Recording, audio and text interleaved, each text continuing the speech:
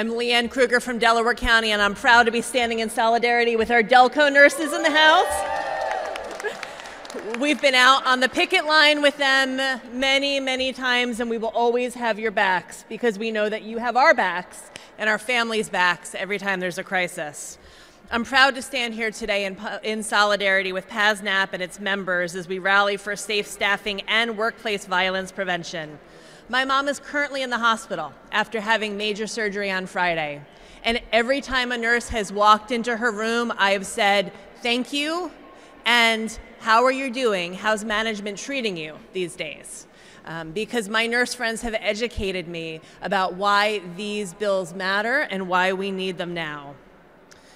House Bill 348, which Representative and Nurse Bridget Kosierowski and I have introduced together, is the House version of the Healthcare Facilities Violence Prevention Act, which would require health facilities to give their employees a voice in the workplace to protect themselves from violence.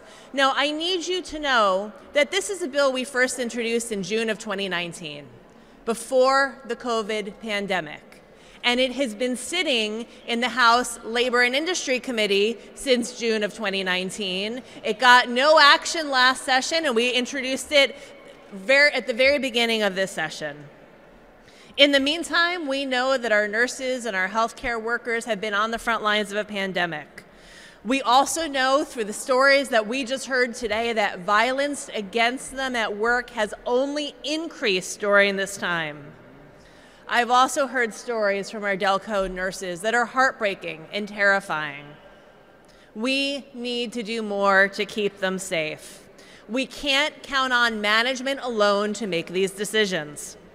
So, House Bill 348 and the companion bill in the Senate would finally give our healthcare workers a seat at the table by requiring every facility to create a violence prevention committee review to look at what's happening and to establish safely guidelines.